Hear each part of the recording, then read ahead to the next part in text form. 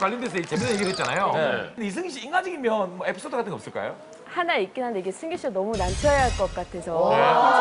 해줘 해줘 해줘. 아, 또, 또 뭔데요, 뭔데요? 그러니까 승기 씨가 굉장히 이렇게 모범적이고 항상 바른 이미지잖아요. 근데 가끔씩 일탈도 하시고 꼭 그러시진 않은 것 같더라고요. 그러니까 둘 다 회사에서 쫓겨날 뻔한 적이 한 번 있어요. 무슨 일이길래? 고 승기 씨는 이제 연습생, 고등학생이어서 이제 방학 때만 합숙을 하고 평상시에는 학교랑 독서실 왔다 갔다 할 때였어요. 어느 날 대표님이 일을 마치고 딱 들어오셔서 합숙소에서 이따 저녁에 승기한테 잠깐 가볼까 독서실에 그러시는 거예요. 근데 승기 씨는 연습생들 중에서도 되게 바르고 성실해서 남달랐어요. 그래서 걱정을 안 했지만 그래도 혹시나 하는 마음에 제가 문자를 남겼어요. 이따가 대표님이 살짝 들리실 것 같으네. 그렇게 문자 남겼어요. 밤에 전화가 왔어요. 전화가 와서 누나 고마워요. 저 진짜 큰일 날 뻔했잖아요. 뭐 이러는 거예요. 그 뒤에도 한 두세 번 승기 씨한테 문자를 남겼어요. 예. 그럼 또 그때마다 바로바로 답장이 와요. 누나 정말 고마워요. 누난 정말 은인이에요. 예.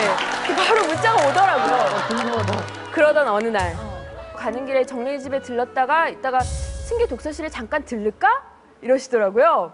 전 또 걱정 안 했지만 혹시나 하는 마음에 살짝 문자를 남겼어요. 승기야 살짝 들리실 것 같은데 대표님이 답장이 없더라고요. 한참 뒤에 갑자기 대표님이 야 지금 조정린 집까지 말고 이승기 독서실로 바로 직행해 그러시는 거예요. 왜 그러지? 뭐지? 막 핸드폰을 막 보시더니 대표님이 야 조정린 이거 이승기가 지금 너한테 보내려는 문자 나한테 보내는 거 아니야? 잘못 보냈구나. 그 문자, 네. 그 문자를 저한테 딱 보여주는 거야. 야, 봐봐. 이거 맞지? 이승기가 보낸, 너한테 보낸 문자 맞지? 그래서 딱 봤는데, 딱 봤는데 승기 씨가 누나, 번번이 정말 고마워요. 어, 어떡해. 야, 누나. 이분이 쓰는 표현입니다. 네. 누나, 번번이 정말 고마워요. 저 이제 독서실로 출발하려고 그 상태로 바로 승기 씨 독서실 앞에서 기다리고 있었어요. 한참 시간이 지나서 저 멀리서 이승기 씨가 제 차를 보고 반가워서 너무나 해맑게 자전거를 타고 막 이렇게 오는 거예요. 그래서 네, 막 얼굴이 막 해맑아요. 신나서 반가워서 막 창문을 두- 누나 누나 막 두드려요.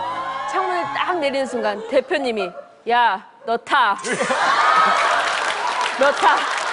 그래서 바로 합숙소로 가서 승기 씨 그날로 바로 핸드폰 뺏기고. 그때부터 승기군이 휴대폰이 없었군요. 그런데 사람이라는 게 진짜 꼬리가 길면 밝히는 게 어, 제가 그날은 근처 떡볶이집에서 막 먹고 있었어요. 그때 다이어트 중이라서 사- 야식 먹으면 안 됐거든요. 그럼 문자 오더라고요. 이렇게 아유 또 그럼 이제 또 이제 숟가락 놓고 이제 가면 천천히 가면 되겠네. 천천히 가면 되겠네. 그래서 이렇게 보고 있다가 들어가서 이렇게 자전거를 막 타고 가고 있는데 이 사람이 정말 들뜨면 안 되는 게 차분하면은 문 열고 그다음 얘기를 하는데 들뜨다 보니까 미리 얘기를 하는 거야. 차가 밖에 있는데 아 누나 진짜 고마워요 누나. 아 이거 누나 아유 고마워요. 문좀 열어봐요. 그랬는데 아내 지인 그랬더니 대표님 야타 그랬어요. 아니 이거는 그래서 되게 휴대폰을 반납 당하신 거예요? 네, 그때부터 없었어요. 아니 아니 되게 저는 되게 지금 충격적인 게 예. 야, 승기 언제 시간 날 때 형이 맛있는 거 뭐 밥 한 번 사줄게. 번- 전화번호가 어떻게 되냐? 그랬더니 너무 해맑은 지금의 이런 표정으로 어, 형 죄송한데 제가 아직 휴대폰이 없어서요. 그 나는 지금까지 벌써 이게 몇 년째, 몇 년을 야, 뭐 학생회장도 하고 이랬대. 역시 애가 다르구나. 이 자랑을 어제까지도 했어요. 우리 식사자리에서.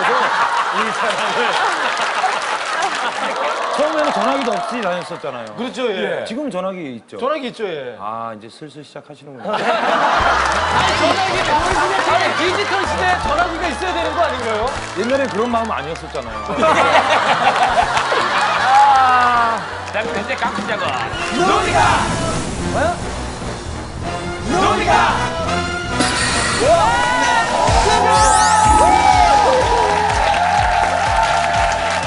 다음 번째 제대로 들어가겠습니다. 예. 미인을 선택하겠습니다. 예. 오진!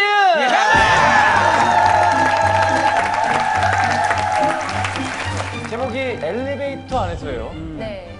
아, 제가 강도를 만난 적이 있었어요. 어, 세다, 세다.